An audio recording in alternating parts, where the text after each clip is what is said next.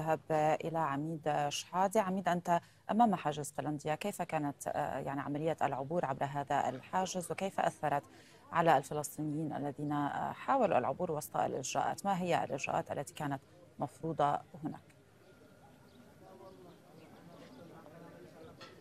وعد آلاف الفلسطينيين وصلوا منذ صباح اليوم وحتى هذه اللحظات إلى حاجز قلنديا الذي يفصل مدينة رام الله عن مدينة القدس. ليس فقط هذا الحاجز بل أيضا حواجز أخرى في محيط مدينة بيت لحم. كل الحواجز التي تربط المدن في الضفة الغربية مع مدينة القدس شهدت وصول آلاف الفلسطينيين في محاولة للدخول والصلاة في المسجد الأقصى. لكن هنا على حاجز قلنديا وغيره من الحواجز النساء فقط من سمح لهن بالدخول من دون قيود إلى داخل مدينة القدس للصلاة في المسجد الأقصى. أما الرجال من هم دون 45 عاما لم يسمح لهم نهائيا لا بحمل تصريح ولا بغيره من هم دون 45 عاما لم يسمح لهم بالدخول للصلاة في المسجد الأقصى وفقط سمح للرجال المسنين بالدخول للصلاة في المسجد الأقصى.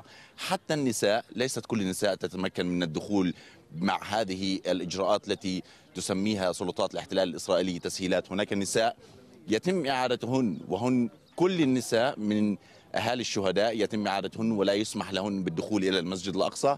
واحدة من النساء التي تم إعادتها. شو السبب اللي خلوك ترجعي؟ زوجة الشهيد عبد الرحمن العروري فقط لأني زوجة شهيد فقط لا غير وأنا عمري 52 سنة مسموح إلي المرور. لأنك زوجة شهيد رجعت. ممنوع أمني كان لي ارجعي يعني لفيت مرتين وقفت عندهم وقلت شو سبب المنع كان لي ارجعي فقط لا غير.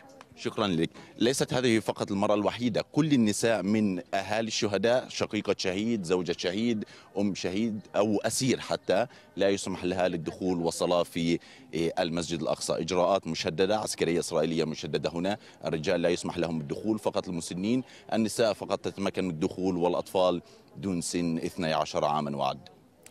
شكرا لك عميد شحادي كنت معنا من أمام حاجز قلنديا